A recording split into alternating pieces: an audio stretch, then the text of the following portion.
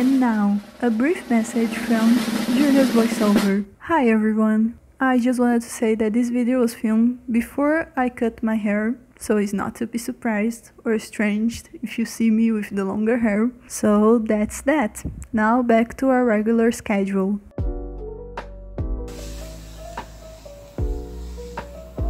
Oh hi! Didn't see you there. How's it going?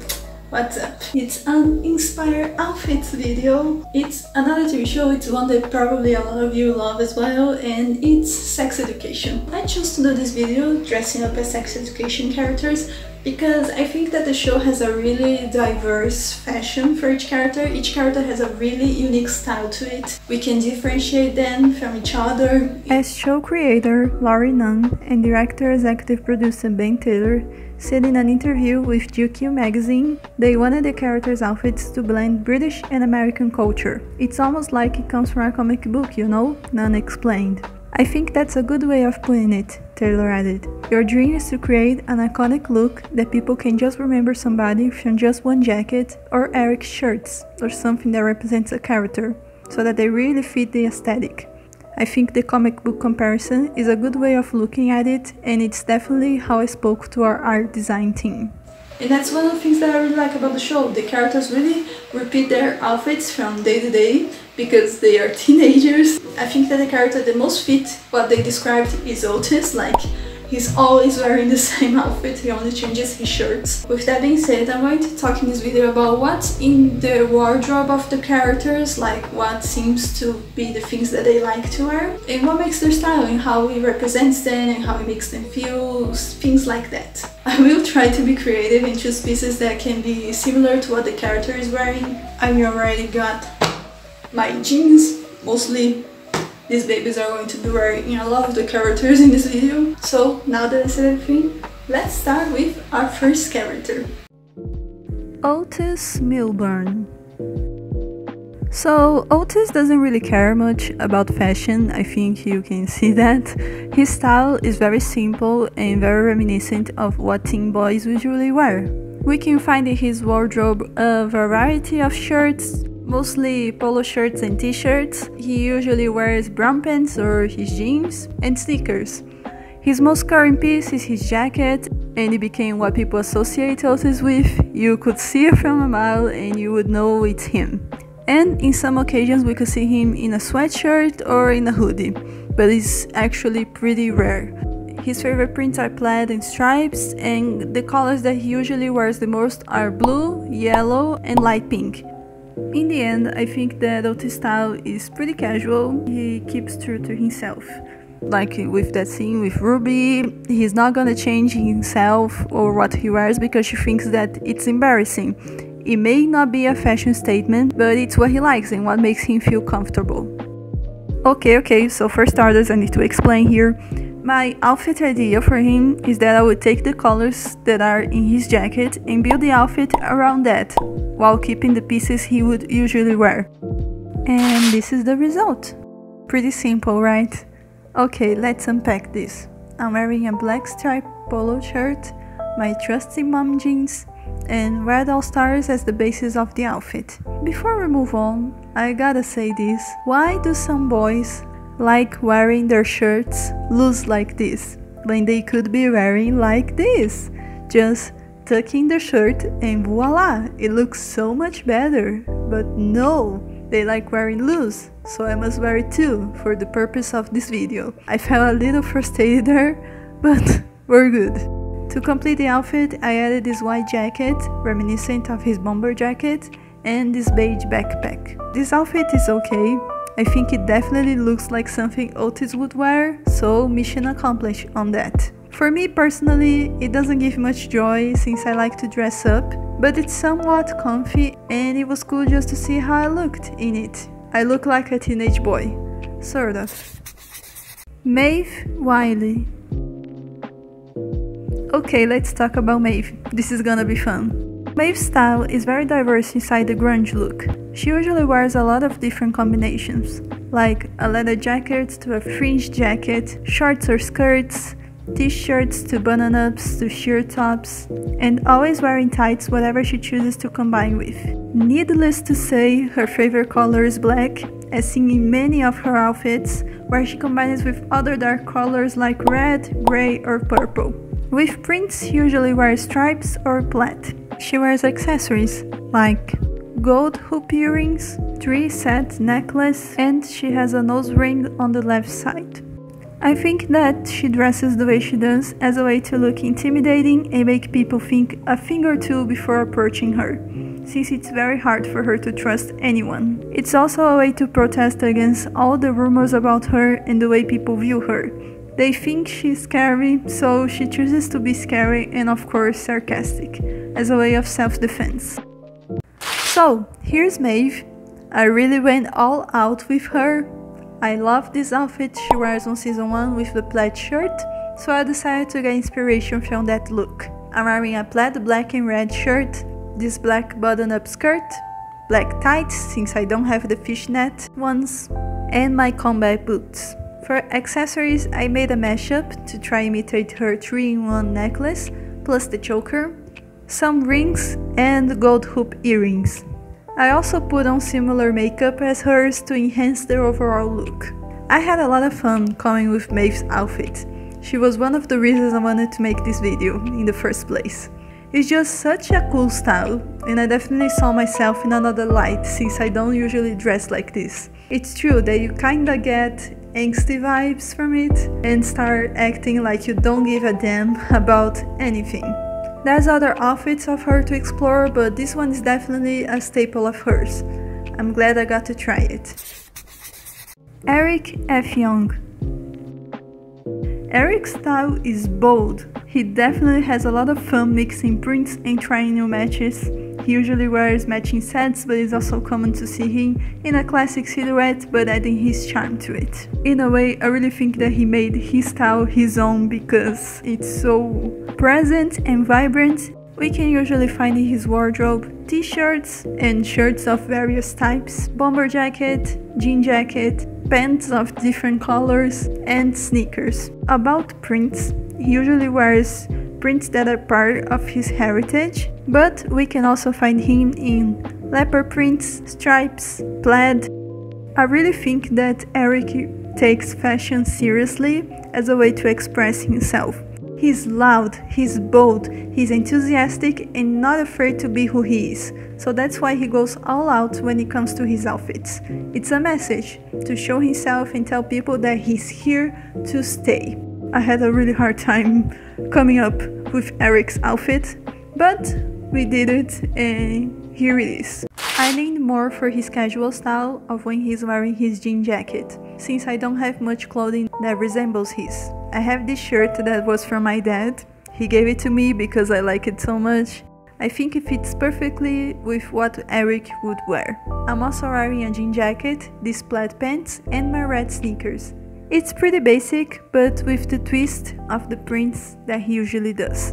I worked with what I had, and I think that the elements are there. You can imagine Eric wearing something like this for sure. I'm sorry I couldn't give more justice to you, Eric. It is what it is. Adam Groff. so Adam's style is pretty normal. Like Otis, he tends to wear what usually teenage boys wear to school except he's more into hoodies and sweatshirts. He also seems to enjoy wearing a lot of tank tops. Those are the items that we see most in his wardrobe. Along with that, we can also find t-shirts, his jeans, the jean jacket and the brown jacket, white sneakers, and a golden necklace that he usually wears. The colors that he likes to wear the most are blue, white, brown, and aqua green. I don't think Adam gives much thought about his style or what makes his style.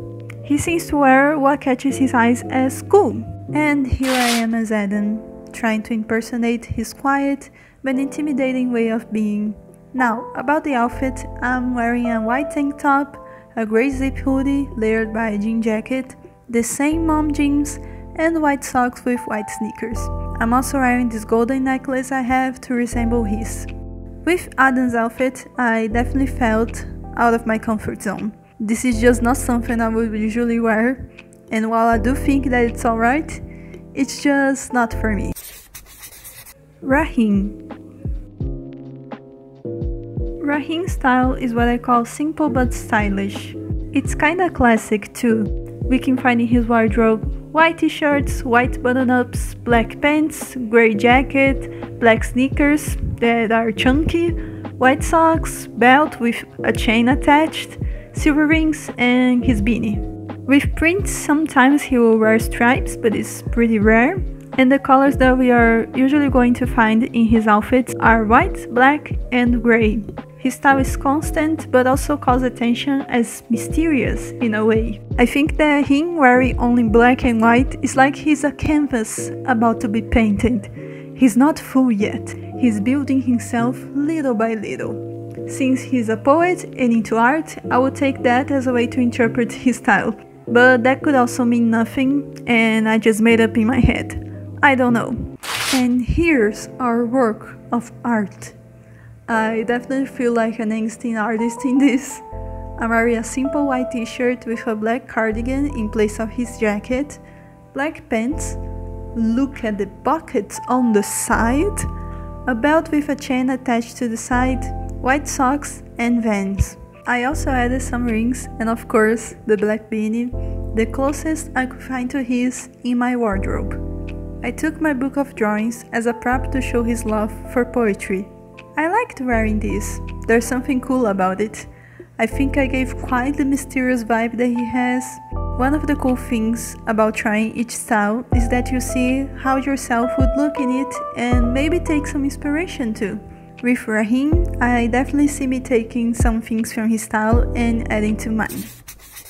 Ola Nyman Ola's style is cute and practical. It's actually really fun too. I wouldn't say it's more fun than Lily since she goes all out with her outfits, but she definitely likes to express herself as well. We can find in her wardrobe t-shirts, zipper shirts, sweatshirts, long sleeve, overalls of different kinds, jeans, green jacket, striped jacket, sneakers. She wears accessories like two-in-one necklace, silver hoop earrings, and she has a nose ring in the right side. In some occasions we see her wearing a dress and a jumpsuit that is usually when she works for her dad. I really think that she uses her style to express who she is and what she cares for. Her outfits are very colorful and full of life. So this is what I came up with for Ola's outfit. Since I don't have any rainbow clothing, I focused more on the pieces that make her outfit and worked around that. Luckily, I had this green jacket that resembles her. I'm wearing the striped top, the green jacket, the mom jeans, belt, red sneakers, and my 11 socks that go with the color scheme. For accessories, I chose this moon necklace, kinda like the style that she wears, some rings, and these butterfly earrings. I really like this outfit, I really do. It's kinda in the middle of what I could come up to wear on my own when it comes to more street style or casual wear. Definitely Giulia approved. Lily, I go hard. Lily's style is very fun, but I also consider to be a wild card because it's too much happening, it's a lot of colors, a lot of prints. She doesn't seem to mind, but for us seeing her style, it can be a lot. She usually likes wearing pastel colors, doing something different for each fit, but keeping a fanny pack with her. We can find in her wardrobe long sleeve turtlenecks, t-shirts, sweaters, pants, overalls, jumpsuits, and sneakers. In Lily's case, she also has a hairstyle that she uses on a daily basis, that is the space buns. I think that Lily uses her style without worrying or caring about what other people will think of her.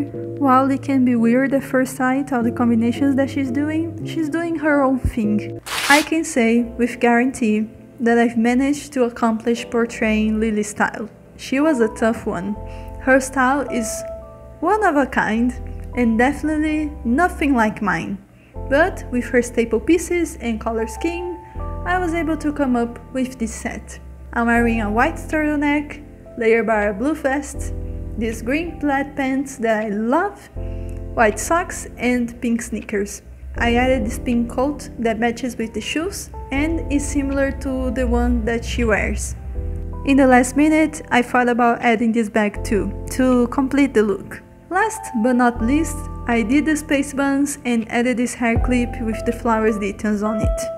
I see Lily wearing this easily, it's just really her style. I thought it was fun to try it on, but I wouldn't wear this set by choice. I'm more of wearing each piece individually in a different way. But layering is important, I'll give her that. Now that we got that out of the way, let me just say this. Doing the space buns was the hardest thing I ever had to do in my life. It took me so much time to make it work, and when it did, it fell apart really easily since my hair is really thin. I think I had my experience with it, and I'm not doing this again. It did the job it had to do for the outfit, and that's it. Once is good enough. Jackson Marchetti. I like to call Jackson's style casual but polished. He knows what fits him well, like the polo shirts, which is kinda his statement piece, along with the school jacket.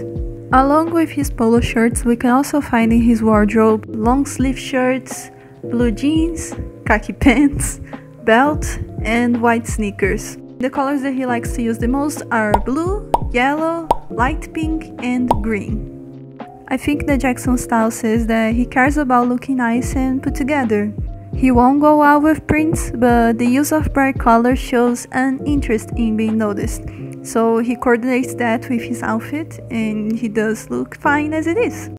And here it is. It's basic for sure, but I tried to add a little something of my personal style to it. So I got this polo shirt that has a little cherry on the side, which I love. For his jacket, I took this red cardigan I have to resemble that, my trusty mom jeans again, belt and white socks with white sneakers. It's a take on it. It kind of reminds me of the preppy style. It doesn't look exactly the same, but it's inspired. It's adapted. Like a girl version of him, maybe. I don't know, I still think it looks good, and I definitely like it more than Otis. Aimee Gibbs. Okay, Aimee's style is very vibrant and cheerful. She likes to wear strong colors with a jeans combination and has fun trying different prints from time to time.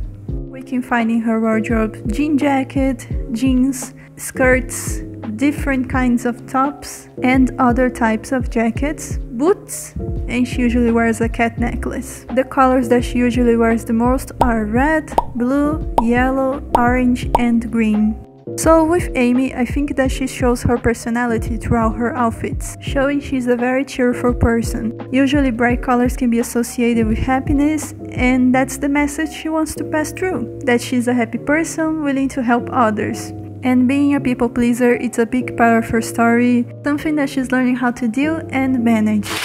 Since Aimee's style is very different from my own, to build her outfit was a little tricky, but I think I've managed to find a middle term. First, this is the outfit, the basic composition with some colors here and there. I'm wearing this green top with a v-neck, the usual mom jeans, this pink belt that has some star details on the side, and these black boots. To complete the outfit, I added a jean jacket that she usually wears and the accessories like this golden heart necklace in place of her cat one, and these hoop earrings that have a crystal inside them. For some reason, this outfit gives me 80s vibes. Maybe it's the denim on denim combination, but I think that when it comes to Aimee, she would definitely wear something like this. Maybe adding a little more color to it, like with a different jacket or pants. She's a sweetheart and I just wish her the best, so yeah. Jean Milburn Jean's style is very classic, it looks very elegant on her and just so good. We can also find in her wardrobe dresses, button-up shirts with a knot in the front, wide leg pants. She loves jumpsuits. I think it's the item of clothing that we can immediately identify her with. The colors that she usually wears the most are green, orange, and blue. I think that Jean's style is very professional. She uses pieces that look quite elegant on her and that shows to the outside world that she's assertive and knows what she's doing, using the classic silhouette and adding her own spin to it. She looks like she owns the place. I knew I wanted to do a Jean style because of how good she looked in her outfits, This is a slightly attempt on that. I'm wearing this blue button-up shirt, I did a knot in the front to coordinate with hers, these black-white leg pants, and these black wedges. For accessories, I added this green stone necklace and a pair of gold hoop earrings.